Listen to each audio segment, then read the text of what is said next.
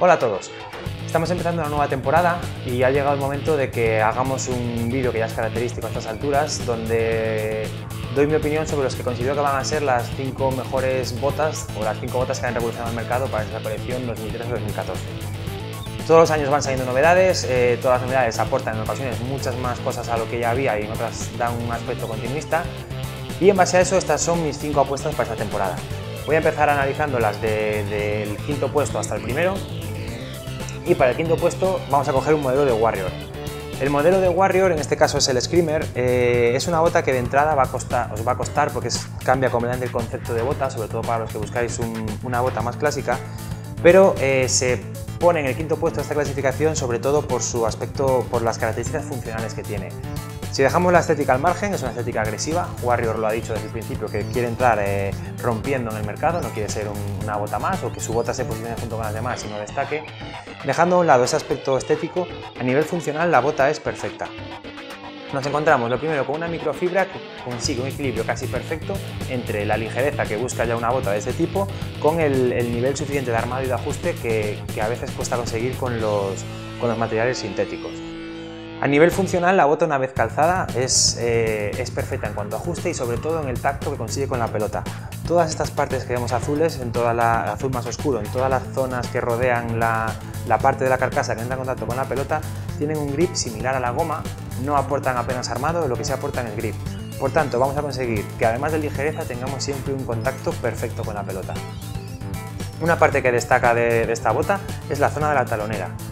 Por primera vez vemos una talonera con un agujero. Podemos ver dos agujeros diferentes que son los, que, los responsables de envolver el tendón de Aquiles. Cuando apretamos la bota, esta zona se ajusta sobre el tendón y una zona que habitualmente nos genera muchas molestias, Warrior consigue, consigue eliminar prácticamente completamente estas, estas molestias con estos dos pequeños agujeritos y el material, y el material con el que se, se finaliza esta zona del, del tendón de Aquiles. Y otra característica importante de Warrior es la suela. La especial disposición de los tacos eh, son tacos en triada, es decir, tienen tres zonas de aristas, mucho más afilados en la zona delantera para potenciar la velocidad y mucho más planos en la zona trasera para conseguir tracción en, arrancadas y frenadas. Por tanto, modelo que rompe completamente a nivel estético y sobre todo es una bota que aporta eh, una funcionalidad eh, espectacular. El cuarto modelo de la lista sería el nuevo modelo de Múnich, la marca catalana se ha reinventado y después de tener durante mucho tiempo la Múnich Mundial, saca una, reedición de esta bota. De la Múnich Mundial mantiene prácticamente la, forma de la suela, es una, muy característica de, de Múnich con tacos cónicos, porque no olvidemos que es un concepto de bota totalmente clásico. Pero lo más importante es, eh, además de alargar la X dándole ese aspecto de bota clásica o incluso de la propia zapatilla de calle de, de Múnich, este acabado brillante que se ha montado sobre la, piel, sobre la piel natural, que va a hacer del mismo modo que hablábamos con el caso de la Warrior, que cualquier bota Múnich que calcéis nos dé un aspecto diferenciador del resto de botas que hay, que hay en el mercado. Por tanto, concepto de bota clásica, llevada casi hasta el extremo con la nueva disposición de la, de la X de Múnich, nos da un acabado.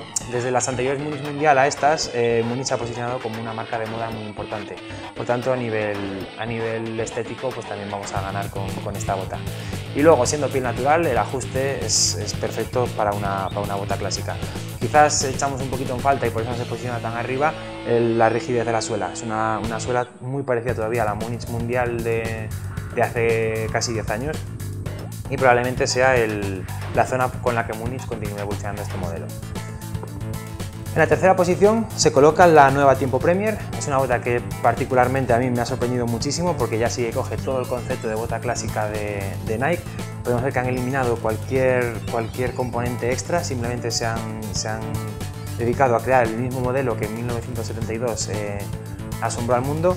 Está hecho completamente con piel natural, no tiene ningún, elemento que la recargue y sobre todo yo creo que es el modelo de bota de la, temporada 2013-2014 con mejor relación calidad-precio. Es decir, es un modelo de, de gama alta, todas las condiciones de gama alta, tanto en los materiales interiores como en la, la piel natural, la tecnología de la suela y está a un precio más ajustado y muy por debajo de cualquier, de cualquier modelo de gama alta de otras marcas. Y ahora pasamos a hablar en el segundo en el primer puesto de, las dos, de, los dos silos nuevos que han salido para, para esta nueva temporada. Los dos considero que aportan muchas cosas al mercado. Eh, empezamos hablando con Hypervenom. Es un concepto de bota intermedia entre la Total 90 y la, y la vapor. Es una bota mucho más ligera que la Total 90 y que además aporta un grip con la pelota mucho mejor que la Mercurial, que la Mercurial vapor. La Mercurial vapor peca de que la pelota desliza sobre la carcasa, no tiene suficiente grip. Con el nuevo Nike Skin hemos conseguido ese, ese grip extra y quizá la Total 90 pues lleva una bota demasiado pesada y demasiado tosca y por eso este, este nuevo concepto de, de Hypervenom la ligera, la acerca la mercurio al vapor sin, perder esa, necesidad que tiene el futbolista que va a calzar esta, esta bota de tener el pie armado y tener un buen golpeo con la pelota. Y acabamos hablando del modelo Nitrocharge, es el nuevo silo de Adidas, yo considero que es el silo que más aporta esta nueva, esta nueva temporada y después de haberlas probado lo que más me ha llamado la atención es que diferencian claramente el pie en dos zonas. Desde la mitad de la bota hacia adelante el pie está muy apretado, tenemos la bota muy armada al pie, mientras que de la mitad para atrás lo que tenemos es máxima ligereza y máxima, máximas posibilidades de torsión y ajuste. Por tanto, en vez de diferenciar el pie en zonas de golpeo, zonas de, ajuste, lo que hace directamente es la zona de los dedos armarla bien, la bota ahí siempre va a estar fija y el resto de la zona aportarnos comodidad, ya que son partes del pie que no van a entrar en ningún momento en contacto con la pelota. Lógicamente el resto de materiales pues es el Libris Touch que ya triunfó con la Predator, por tanto en este sentido estamos completamente, completamente seguros de que va a dar muy buen resultado. la nueva tecnología para la, para la, suela, el Energy Pulse, se nota, la suela no es, tan, es mucho más reactiva que las anteriores suelas que tenían el Sprint Frame de Adidas, por tanto es un silo Todavía no tenemos claro bien a qué jugador va posicionado, hablan de jugadores de medio campo, pero yo considero que un central o un portero se va a encontrar muy, eh, muy cómodo con, esta, con este calzado. Pero lo que sí es seguro es que es una bota que va a aportar muchas cosas al futbolista que la, que la calce. Por tanto, estas son mis cinco apuestas de botas revolucionarias para la temporada 2013-2014.